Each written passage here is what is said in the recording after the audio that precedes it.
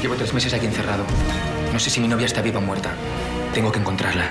No te pierdas el estreno más apocalíptico de la temporada, Los Últimos Días. Tenemos regalos para todos.